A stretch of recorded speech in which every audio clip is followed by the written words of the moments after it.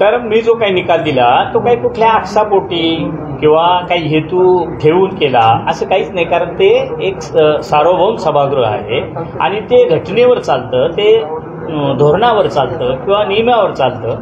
आणि त्या पद्धतीनं तो निर्णय योग्य तो निर्णय दिलेला आहे. त्याच्यामुळे माझा विश्वास आहे. का न्यायदेवता ही सुद्धा माझ्या निर्णयाचा निश्चितच त्या ठिकाणी विचार केला जाईल आणि मी दिलेला निर्णय योग्य आहे. तो निश्चित माझ्याकडेच येईल कारण जो निर्णय मी दिला आहे.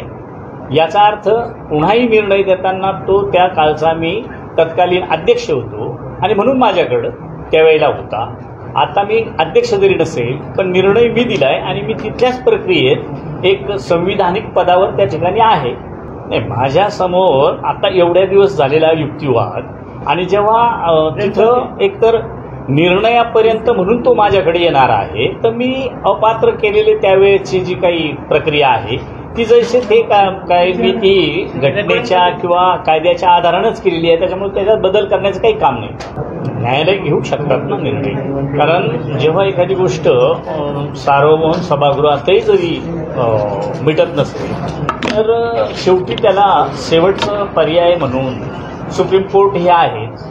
कारण हा प्रश्न तसा निव्वळ महाराष्ट्राचा नाही आहे पण एकूण सगळा विचार किंवा एकूण सगळा अभ्यास जर केला तर तो निर्णय मी दिलाय. तो आताही निर्णय द्यायचा त्याचा अधिकार मलाच असेल. सुप्रीम कोर्ट घेऊ शकतं. एकतर सुप्रीम कोर्ट निर्णय जरी घेईल तरी सोळांना अपात्र करेल. नसेल माझ्याकडे आला तरी तो योग्य म्हणून माझ्याकडे पाठवला जाईल. आणि मग मी घेतलेला निर्णय योग्य म्हणून सोळा आमदारांना अपात्र केलं. जाईल सुप्रीम कोर्ट घेऊ शकत नाही असं तरी मी मी म्हणणार नाही. सुप्रीम कोर्ट निर्णय घेऊ शकतं. पण जर नाहीच घेतला तर तो आमच्या ह्याच्यात जर आला तर तो माझ्याकडे येऊ शकतो. त्यावेळेचा मी अध्यक्ष होतो. मी घेतलेला निर्णय होता. आणि हे मी आणि अध्यक्ष साहेब. हे त्याची त्याची बाजू मांडणारच आहे. त्याच्यामुळं तो शेवटी निर्णय हा सुप्रीम कोर्टाचा आहे. सुप्रीम कोर्ट मला वाटतो त्यांचा आत्मविश्वास त्यांना आहे अध्यक्ष साहेबांना. माझा आत्मविश्वास मला आहे का माझ्याकडे निर्णय